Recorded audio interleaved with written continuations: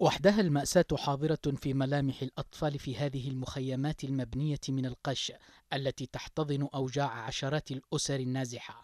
أكثر من 300 أسرة نازحة مضى على وجودها في هذا المكان نحو سبعة أشهر حيث يعانون مرارة النزوح الذي كان آخر الحلول بعد أن تحولت منازلهم أهدافا مباشرة لقذائف الميليشيا وطيران التحالف.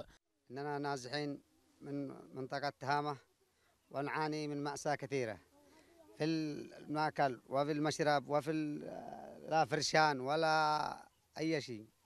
ونناشد المنظمات الدولية بالإغاثة وبالدعم. هنا يبدو الوضع أكثر فقرا ومعاناة بل وافتقارا لأبسط مقومات العيش. الصواريخ يعني دمرت البيوت علينا ولا خلت لنا يعني لا بوش ولا عيال ولا دمرتنا بكلها. وخرجنا يعني من ضيق. وجينا قالوا فيهم الخير هنا يعني في الجنوب وأمنوا قلنا أحسن الأمان أفضل من كل شيء. نشتي الأمان. حيث تنعدم سبل الحياة ويجد هؤلاء الهاربون من جحيم الحرب جحيما آخر ينتظرهم.